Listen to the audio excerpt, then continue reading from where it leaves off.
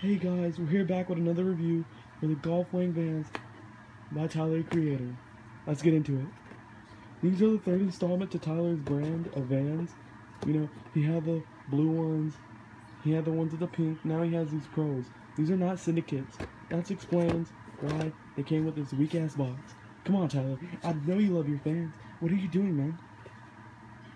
Alright, let's get back into the shoes then. The shoes are a yellow or gold, whatever your preference, you know, with a red and then a blue. I like to call these the Bart Simpsons or the Stewie Griffins. You know, I like to joke around a lot, you know. Odd Future shit, bitch. The back does say golf lanes like the previous versions, you know.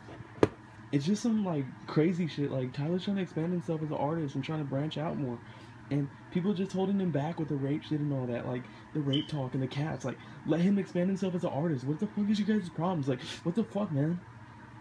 Alright, over here, we got the Flog Gnaw motors on the insoles. It's pretty dope because he's trying to expand from the cats because you know last year it had cats and shit. And, you know, free Earl, bitch. But yeah, Flog Gnaw motors because he's done with the cats, he's done with the rape, he just wants to expand himself as an artist and branch out more and expand his brand. Let him do that shit. Stop categorizing him, man. What the fuck is you guys' problems? We have golf on the tongue for Golf Wang. You know, because Tyler doesn't really want a free Earl anymore, and there's no fuck Steve Harvey. Take me back to that time, though. So that's all we got today for the for the review. Be sure to like, comment, rate, subscribe. Um, share the video too. Share the video. I'm out.